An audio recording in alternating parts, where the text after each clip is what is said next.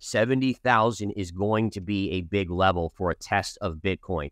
What does it do yesterday? It literally kisses and pierces 70,000 by about $16 and then reverses basically three to four thousand dollars. Now today, what we're seeing here on the charts is that we are we pulled back initially. We're kind of flat on the morning session, but what this tells us is that Bitcoin Zella stands out with its simplicity and clarity. We've crafted an experience that anyone can dive into, whether you're a crypto expert or just a new to the crypto world. Now, guess who keeps his eye on us? The author of best-selling book Rich Dad Poor Dad, Robert Kiyosaki. And we want to take this opportunity and thank all the people who trusted us, and we read every comment. And the best part, it's free. Subscribing now means you will get all new information for free. Don't just follow the trends, stay ahead of them. Subscribe to Bitcoin Zella today and enjoy the new edge. Let's join Gareth in this video about Bitcoin and more. This 70K level is important, and we know the pivot line is important. Here we touched the pivot line, and here we rallied into resistance and got rejected. So, which way is it going to go? As long as you stay above this pivot line, maintain a neutral to bullish bias on uh, Bitcoin. All right. If it flushes below and starts trading below, you have to go into a bearish consolidation or bearish fall bias. And that would be a move all the way back down to about 55,000. So, again, just amazing to watch the pinball or ping pong play going back and forth on these charts from support to resistance. And then the question is, do we come back to support or do we reattack 70,000 on, on the chart of Bitcoin? Ethereum had that nice little move early. It kind of backed off yesterday, but starting to push up just a little bit again today. Resistance remains at 35.5. Support remains down here at around 3,100. And then secondary support in this lower range. Uh, by the way, Solana I talked about Solana yesterday. It was above that key level. Look at this, guys. It put in a technical topping tail yesterday. It has a bearish reversal signal after piercing double top right here. And again, topping tail, classic topping tail right here.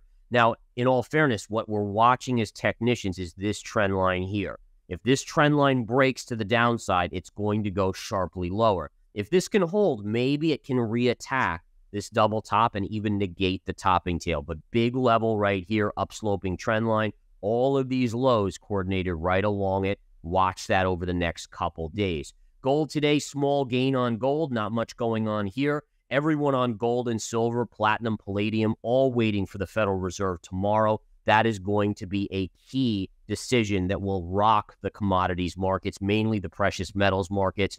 BlackRock, the world's largest asset manager, cautions against rising cryptocurrency scams involving their brand on various platforms. BlackRock, managing $10.5 trillion in assets, has observed a significant rise in investment-related scams, particularly involving cryptocurrencies. These scams often direct users to dubious websites or platforms like WhatsApp and Telegram. In a post on X, BlackRock urged caution when dealing with individuals or platforms using its brand for investment offers. The firm emphasized that neither BlackRock nor its executives contact individuals via social media for investment purposes. Scammers frequently impersonate BlackRock employees, promising high returns and inviting individuals to fake stock or crypto training sessions. Victims are often asked to deposit funds on fraudulent trading platforms and face demands for additional funds to withdraw their supposed returns. BlackRock's Spot Bitcoin ETF, the iShares Bitcoin Trust, IBIT, has accumulated $23 billion since its launch in January, making it the leading spot Bitcoin ETF in the U.S. The firm has also introduced an Ethereum ETF CEO Larry Fink, once a skeptic, now advocates for Bitcoin as digital gold, highlighting its value as a portfolio asset for economic stability and protection against currency debasement. BlackRock's warnings underscore the need for vigilance against crypto scams as the firm continues to expand its footprint in the digital asset space. Right on the S&P 500 pre-market, and what we could see very clearly here is that yesterday the markets closed right here around 544.75 on the SPY. We had sideways after hours action and then just before the end of after hours we had a rollover and the futures were actually trading down pretty sharply. But by this morning, by four in the morning, when the futures, well, I shouldn't say futures, when the SPY again started trading, we were all the way back up and are holding sideways for the course of the pre market here. Now, listen, uh, my guess is that today, with all the big earnings after the bell, you're going to see somewhat of a quiet sideways day, maybe up a little bit, maybe down. My guess is the semiconductors will direct that. And we'll talk about the semiconductors here in just a minute as we get through. But right now, again, we are holding steady. Now, if we flip to the daily chart, notice again, I've shown you guys this, the trend line prior. But basically, what we have here is a trend line that is so far holding. Now, the problem with this, guys, is that if we continue to make sideways to slight up consolidation, we all know what that pattern is, right? In fact, let me do a diagram. Here you have a down move, right? So let's do it here. We have a down move like this. And then when you get this sideways kind of consolidation, that's what we call a bearish flag consolidation. And we can see it right here on the charts, down move and the beginnings of that sideways consolidation. So the question is, is now listen, this is what we would call an immature pattern. It only has two sideways days, but today could be number three. And once you get past number three, then you start creating a good mature pattern with higher probabilities to the downside. So in general, this is a bear flag. It ultimately results in this downside move. In general, if we continue to go sideways to slightly up, you would expect a breakdown in the not too distant future. That again is a clear kind of replication of the technicals on the chart. All right. Now, again, we are just coming off of our all time highs. So if we zoom out on this, and I always like to show the bigger time frames, what we can see here is that listen, if you do start to sell off and we have a bigger sell off in the S&P, what is your likely target? Well, at least in the near term, your likely target is this trend line, okay? So again, what's fascinating about this and I love bigger time frame analysis because it gives us such a clear view of what the future could bring. Remember, when we're looking at the daily chart, we're looking at what's going to happen over the next 1 to 2 weeks, you know, somewhere in that vicinity. When we go to the weekly chart, we're looking at the next 1 to 2 months, maybe even further out. And the monthly chart, it's potentially 1 to 2 years out, right? But what we're clearly seeing here is if you connect the COVID low to these lows here and here and here. It lines up perfectly. And what that tells us is that if we sell off and we start breaking down, this would be your likely target range on the charts. Okay, so you're looking at a move down to about the 470 level. Now, what's fascinating about this is that as a technician, what I always try to do is make sure that I have multiple factors. Remember, I talk about factors all the time. For those of you that are just tuning in for the first time, you may say, hey, what the heck is a factor? A factor is a reason, a thesis, a factor for why it should be a long or a short at that particular price. Well, look at this, guys.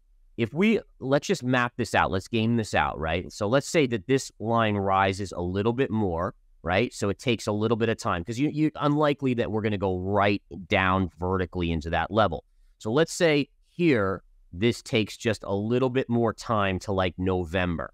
And again, no, November's not that far away. But what we see is that line rises, and look at this. We take this pivot high, which was your 2021 all time high on the market, and we map it out right here.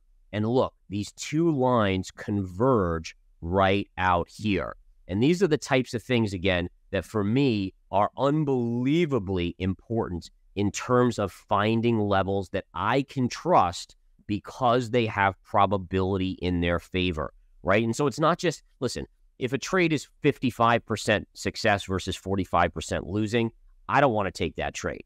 I want trades that are 70 to 80% success rate. All right. I essentially want to be a casino. And if I have enough people come through, essentially enough trades coming through the casino, I'm always making money not on every gambler. Some gamblers take you for money, but in general, there's a high percentage that come in and walk out losing money when they're gambling. And that's what I want to be as a trader. I want to be the house, the casino, not the gambler. So, the suffice it to say that if we were to fall into this level, that now becomes major technical support. And at that point, you'd get in a scenario where you'd have to decide are we going to then bounce and go to new all time highs? Or do we just have a small bounce? Because I still think you'll bounce either way. Or, and then we break even lower. Where would low be? This next pivot down here although I'd have to find a secondary factor. Bitcoin faces a sharp rejection at $70,000, dropping to $66,500 as bears push BTC lower. Traders now eye $60,000 as a potential next target. Bitcoin saw a swift $4,000 drop after reaching $70,000 on July 30, falling to $66,500 as the Asia trading session began. This familiar pattern of rejection at key resistance levels has frustrated bulls. BTC's failure to maintain $70,000 accompanied $2 billion of BTC moving out of a U.S. government-associated wallet. Despite weekend pledges by presidential candidates to build a Bitcoin reserve, the sell-off continued. Analysts and traders, including William Clemente and Keith Alan, suggest Bitcoin needs to reclaim the $69,000 level to aim for new all-time highs. Popular trader Roman predicts a potential drop to $60,000 before a bullish reversal, expecting a short squeeze to drive prices higher. On-chain data from CryptoQuant shows increasing BTC outflows from exchanges, which could signal bullish sentiment and a potential price breakout in the future. Bitcoin's recent price action highlights the ongoing battle between bulls and bears, with key support levels and market dynamics closely watched as traders anticipate the next moves. If you've been with us so far, a big thank you. Don't forget to subscribe for free to Bitcoin Zella for your daily news. The link is waiting below. That's all for today's crypto news. Stick around for more updates, insights, and analysis on cryptocurrencies. Share your thoughts in the comments, like this video, and subscribe for more exciting content.